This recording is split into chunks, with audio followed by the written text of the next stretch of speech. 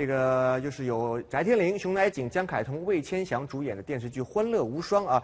呃，这些主演其实都是年纪非常轻的，这个片场自然不会少了欢声笑语。但是我们发现一件事儿，就是他们都被片场的几样小道具给难倒了。现在这桌上的呢，是用到他们的道具，这是传说中的一定，然后这是一两，然后这是一文。然后呢，我回去问一下主演们，他们知道一定等于多少文，等于多少两吗？一百文是一两啊，一定我不知道是多少。这个是一两，这个是一文，这个是一锭银子。分别分别等于多少？分别什么？这个等于多少个？十个啊。来，等一下，来，等一下吧，好不好？看看看看，一个个都正儿八经的穿着古装演古人呢，但是怎么对钱这样东西这么没有概念呢？不应该啊！就当记者打算傲娇的公布正确答案的时候，有一位程咬金杀了出来。古代的一两银子相当于十六分之一斤的。现在的这个银，啊，然后呢，一两银子相当于五百个铜钱。你知道一个馒头一个要多少个铜钱吗？五个。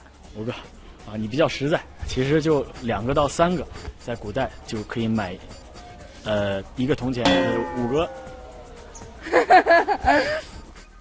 不错哦，看来还是做过一点小功课的嘛。不过必须要悄悄的告诉大家，翟天临可是临时抱佛脚上网查的哟。虽然有点小作弊，但是如果你知道翟天临刚刚被马踢了一脚，怎么也得给点同情分吧。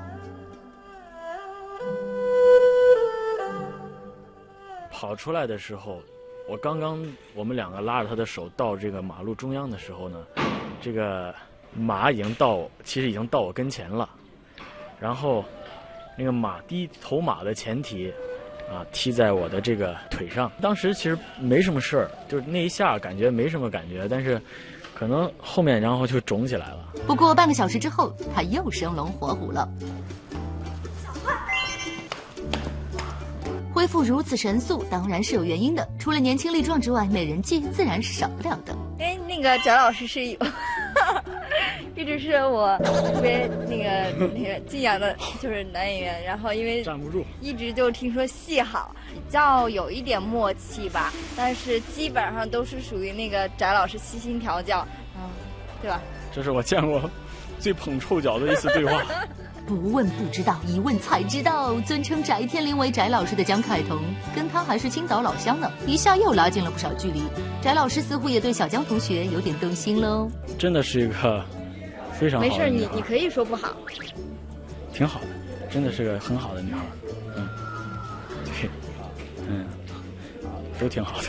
嗯，好，好呀，好，好，谢谢。好官方啊！那我再来一个。哎，同样的问题。嗯，我觉得适合娶回家当老婆那种啊。新闻在线，横店独家采访报道。